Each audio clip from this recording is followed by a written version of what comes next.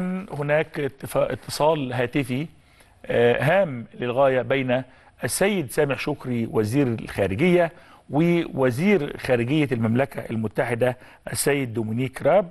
وتم تبادل وجهات النظر بين وزير الخارجية المصري والبريطاني حول مجمل القضايا التي تهم الجانبين. كانت القضية الفلسطينية أحد أركان هذه المحادثة والتأكيد المصري على الثوابت العربية والثوابت المصرية فيما يخص القضية الفلسطينية على أساس إقامة دولتين وعودة الحق الفلسطيني إلى مستحقيه.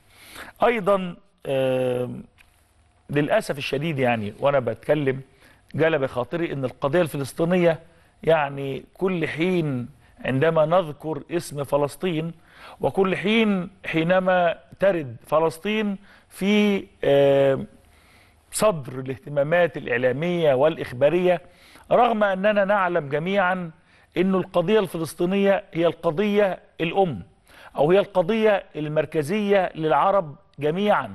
القضية الفلسطينية توارت القضية الفلسطينية توارت خجلا أمام فجاجة القضايا الحالية المتفجرة قضايا صناعية قضايا مصنوعة قضايا مخططة قضايا مرتبة. نتحدث عن فلسطين بخجل شديد. نتحدث عن القدس بنوع من الشياكة السياسية أو نوع من الرومانسية السياسية إنجاز التعبير. لكن عندما نرى ما يجري في ليبيا مثلا من آه، عودة الاستعمار القديم الذي طل برأسه من كل حدب وصوب. طل من تركيا طل من إيطاليا طل من فرنسا طل من كل الدول إلى ليبيا لتمزق الدولة الليبية نفسها بنفسها تحت وطأة هذا الاستعمار الوافد الجديد والقاسم المشترك في كل هذه الممارسات على الأرض الليبية هم جماعات وميليشيات تنظيمات بتتخذ من الدين ستارا.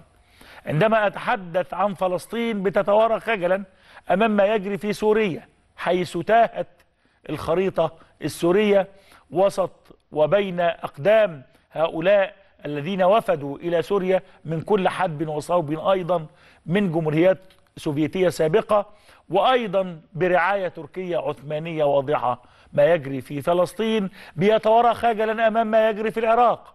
ما يجري في فلسطين بيتوارى خجلا أمام ما يجري في الصومال.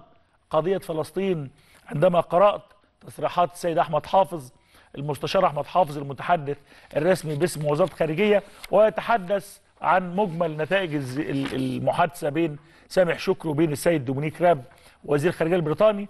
كانت القضية الفلسطينية آه، آه، ضمن المباحثات والمحادثات بينهم. لكن بس بفكر كل مواطن عربي بقول له صنع أيدينا أوصل القضية الفلسطينية من داخل الملعب السياسي العالمي والإقليمي والمحلي في كل الدول العربية إلى رف. رف ربما أصبح التراث. لم يعبأ أحد بالقضية الفلسطينية. أصبحت القضية الفلسطينية جزء فقط من الخطابات السياسية لدغدغة مشاعر الجماهير وانظروا إلى ما يفعله الرئيس التركي ما يفعله أمير قطر حينما يتحدثون أو يتحدثان عن القضية الفلسطينية فقط للاستهلاك المحلي.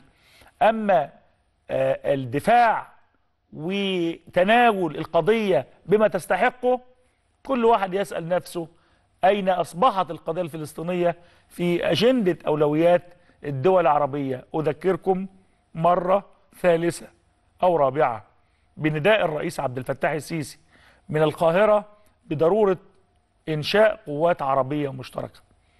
ربما هذا النداء ما أحوجنا إلى تلبيته الآن. تحدث السيد سامح شكري أيضا مع السيد دومينيك راب حول آه، ليبيا وما يجري في ليبيا. وشدد وزير الخارجية على خطورة الوضع والتدخلات الأجنبية في الأراضي الليبية واختتم الوزير سامح شكري مع سيد دومينيك راب وزير الخارجية البريطاني حول إطلاعه على مستجدات مفاوضات مصر وإثيوبيا والسودان حول قضية سد النهضة. وأيوضح أيضا السيد سامح شكري على ضرورة التواصل لاتفاق شامل آه، بيحقق مصلحة جميع الأطراف والاهتمام الشديد بعدم إجراء أي آه، اتخاذ أي إجراءات أحادية من أي طرف من الأطراف بما يربك المشهد ويؤدي إلى إدخال المنطقة في آتون نزاع مسلح لا يعلم مداه إلا الله.